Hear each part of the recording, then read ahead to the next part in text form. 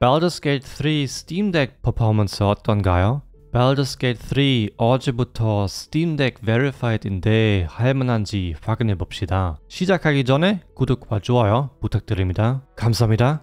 채널의 상승에 도움이 많이 될 거예요. 진짜 고마워요. 여기 메인 화면이 이미 볼 수 있는 것은 게임 당연하지 60fps 유지하지 못해요.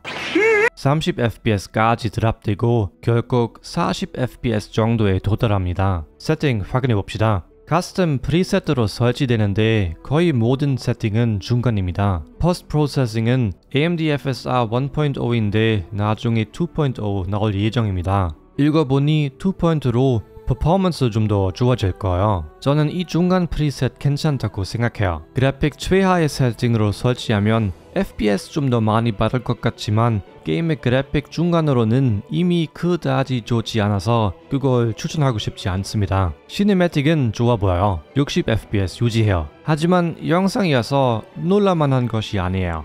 캐릭터 제작에서 그래픽 quality가 어떤지 볼 수 있어요. 대단하지 않지만 그다지 나쁘지 않다고 생각해요. 그리고 글자가 편하게 읽을 만큼 커서 다행이에요. gameplay 상태 확인해 봅시다. 게임 시작의 던전은 35fps, 40fps 사이에 있지만 떨어질 때가 있긴 있어요. 하지만 40fps 아직 할만하다고 생각해요. 대화할 때 50fps도 가능합니다. 나가 있을 때 퍼포먼스 좀 더 좋아져요. 40, 50fps 사이에 있어요. 유지된 FPS를 원하시면 40fps 한계 설치한 것이 좋지 않을까 싶어요. 하지만 그렇게 해도 떨어질 때가 있을 거예요. 위에 퍼포먼스 stat에 한눈을 던지자. GPU는 계속 99%에 있고 에너지도 많이 소모되어요. 게임 세션 90분 이상 어려워요. 결론적으로 말하자면 Gate 3는 Steam Deck으로 할만하다고 생각해요. 하지만 배터리 빨리 떨어지는 것이 좀 아쉽긴 해요. 영상 끝까지 봐주셔서 감사합니다.